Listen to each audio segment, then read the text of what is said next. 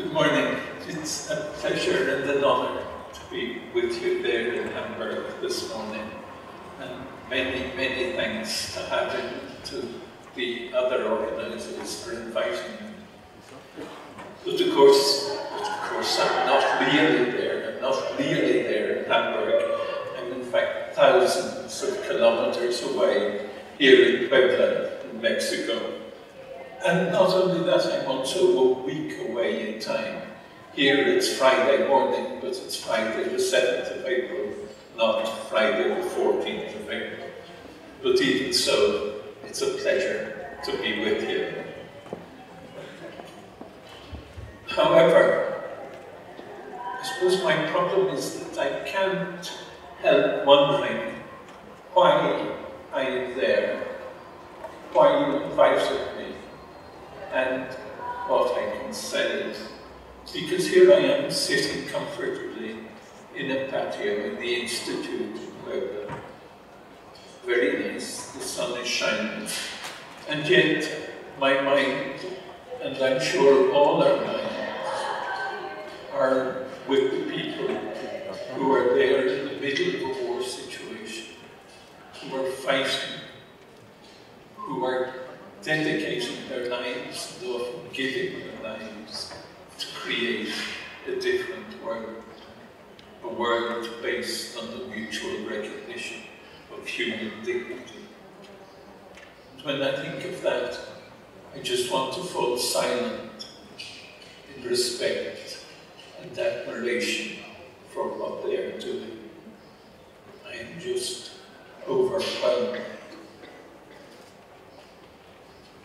But I can't expect you to just sit there, sit there and watch me sit in silence for two hours, I'd better say something.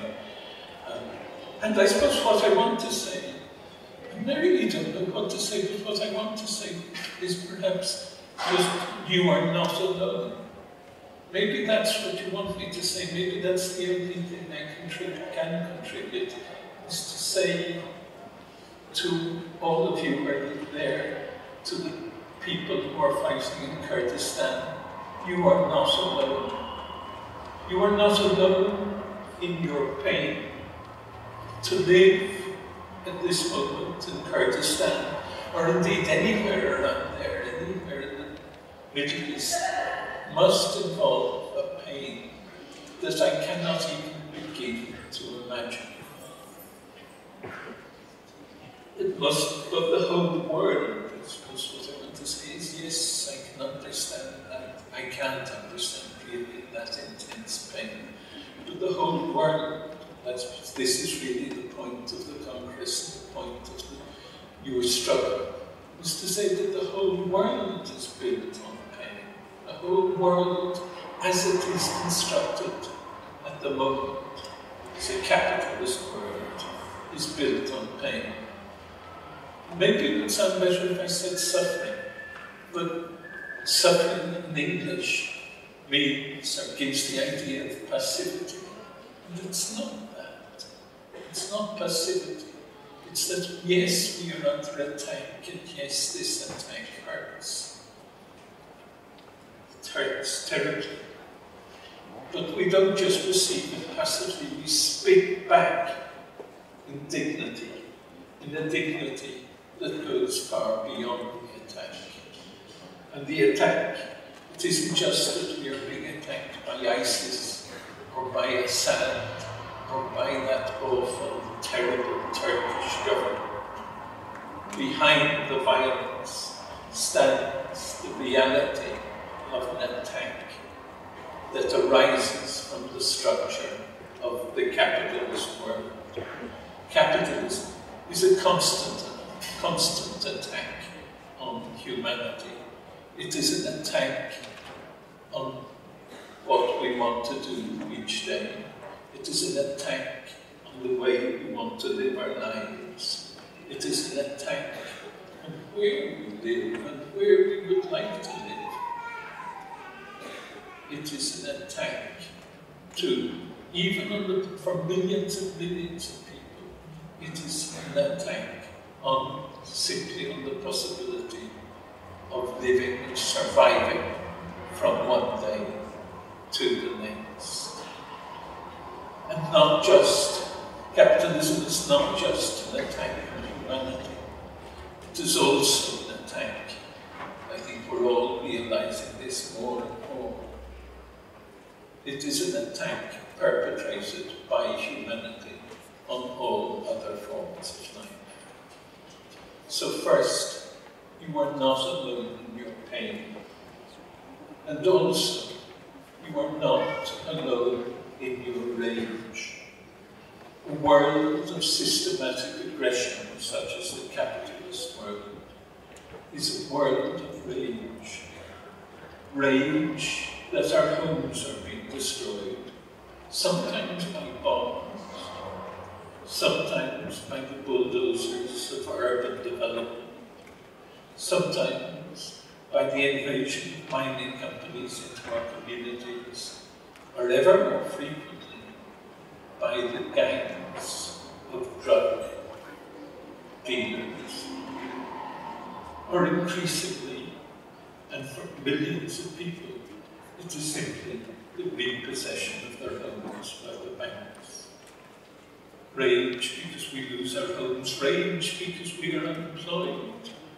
And feel completely frustrated. Or very often rage because we are employed. And also feel completely frustrated because we are forced to dedicate our lives to making other people's rich, other people richer, and not to being able to do what we feel it is necessary or important or desirable to do. This, so capitalism, any system of oppression, is a system built on anger. And capitalism in crisis is a system of intensifying. This is our anger. This is our rage, rage against the form of social organization that is destroying the world, that denies our humanity. But when there seems to be no alternative, when it seems to be simply unthinkable to go beyond capitalism, then that rage, that anger, often becomes bitter. It slips away from us and turns into something horrible. It becomes divisive.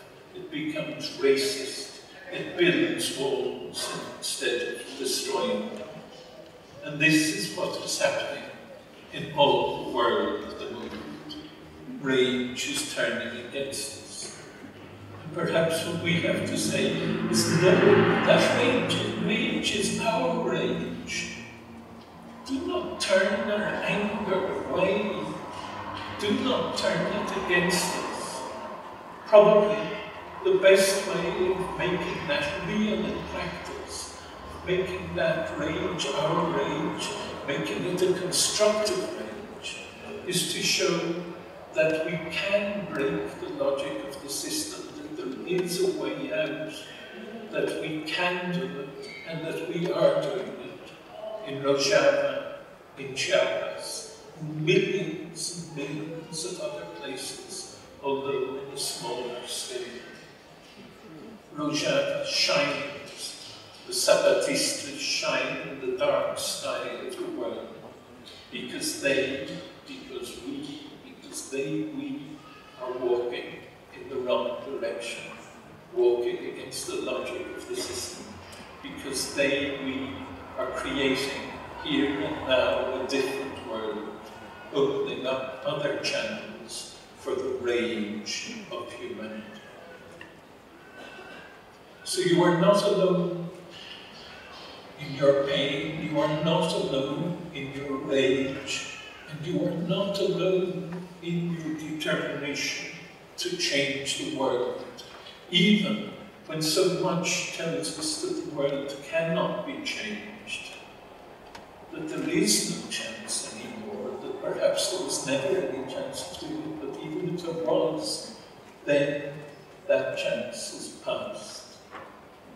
It often seems that we are in an aeroplane falling in a downward spiral towards the ground, and that there is no way out. And yet we cannot accept that. We have to break capitalism before it annihilates us all. We do not know how to do it, but we have learned from experience and reflection that it cannot be done through the state. This year, of course, is the 100th year, 100th anniversary of the Russian Revolution. And it seems to me that, yes, we must celebrate the Russian Revolution, but the best way to celebrate it, the best way to celebrate the struggles of all those millions of people who fought and often died fighting for a better world is to say, we love you, we respect you for what you're trying to do. But you were wrong. You were wrong. It could not be done through the state. And trying to do it through the state led to disaster.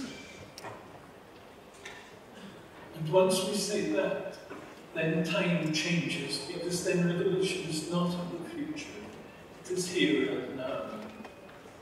In the worlds we create here and now, walking in the wrong direction, walking against the logic of the system, asking our way, creating our ways by walking, never creating or following a model, always experimenting, never creating and talking, always knowing that what we are doing, that what we are doing to try and break the logic of the system is necessary, is crucial, and yet is never enough.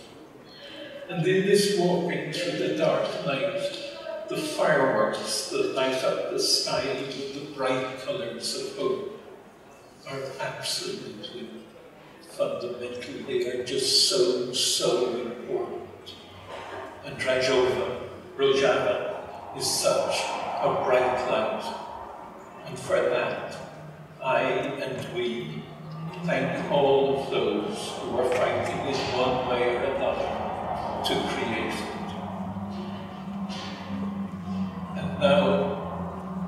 do what I should have done at the very beginning. I send my warmest greetings to Puebla, to you, many, many thanks, and to my friends Assisi, Dawn, and Lars who were there, to Rainer and Raoul, and Silke, and David, and to all of you. And with that, I fall silent. Respect and admiration for what you are doing.